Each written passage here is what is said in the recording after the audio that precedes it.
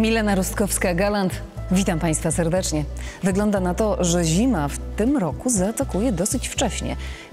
Co prawda w październiku początkowo mieliśmy dużo, dużo pogodnego nieba i wygląda na to, że jeszcze kolejny weekend będzie ciepły, no ale ten najbliższy jednak zimowy. Dobrze, nie przedłużam, przychodzę do szczegółów. Najpierw to, co dzieje się i dziać się będzie w ciągu najbliższej doby nad Europą, a nad Polską słoneczny wyż ale nad północną częścią naszego kraju będą wędrowały chmury frontu atmosferycznego. Najbliższa noc na północnym wschodzie i na północy z chmurami, na Pomorzu deszcz. Poza tym pogodnie, a temperatura od minus dwóch, minus jednego na południu do 10 stopni na północy. Wiatr słaby i umiarkowany.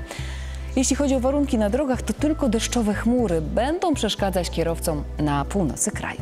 Tak nad Polską będą wędrowały jutro chmury na północy, potem na północnym zachodzie, ale nad resztą Polski możemy liczyć na pogodne niebo. Czas na szczegóły. Pomorze Kujawy, Wielkopolska, tu temperatura do 13 stopni, tylko na północy regionu deszczowe chmury.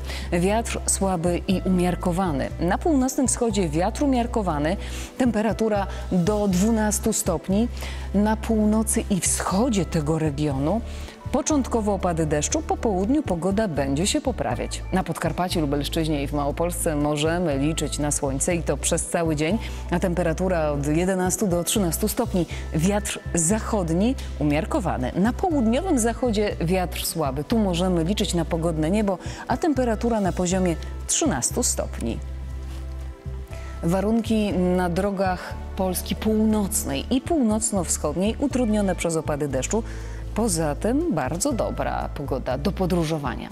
Taka pogoda będzie dobrze wpływała na nasze samopoczucie prawie wszędzie. Na północnym wschodzie i na północy. Tam, gdzie chmury, tam, gdzie deszcz.